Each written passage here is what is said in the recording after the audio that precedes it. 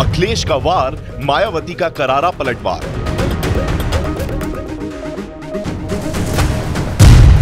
भतीजे पर सवाल, मायावती का बचाव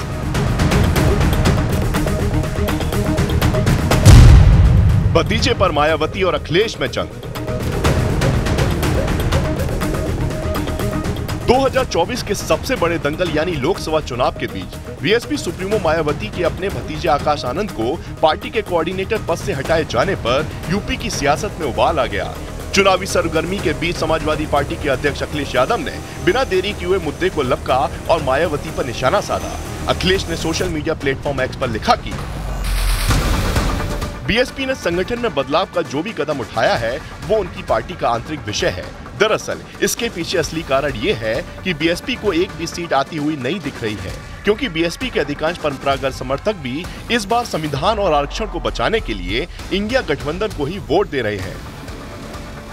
इधर अखिलेश ने हमला बोला तो उधर मायावती ने भी बिना देरी किए हुए अखिलेश यादव को उनकी भाषा में जवाब देते हुए उनसे अपनी ही पार्टी पर फोकस रहने की नसीहत दे डाली।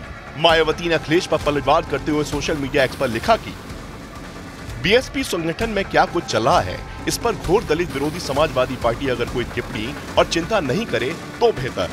इसके बदले, एसपी नेतृत्व को चुनाव में उतारे गए उनके अपने परिवार और उनके यादव समाज के प्रत्याशियों का क्या हाल है, इसकी केवल चिंता करें, क्योंकि उन सब का हाल बेहाल है।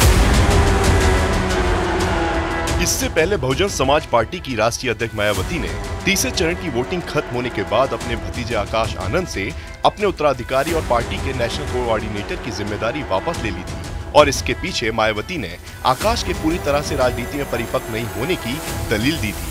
बहरहाल, वजह चाहे जो भी रही हो, लेकिन मायावती के विरोधियों को उन पर हमला करने का मौका मिल गया। और यूपी में धुर विरोधी बीएसपी और एसपी में सियासी घमासान छिड़ गया।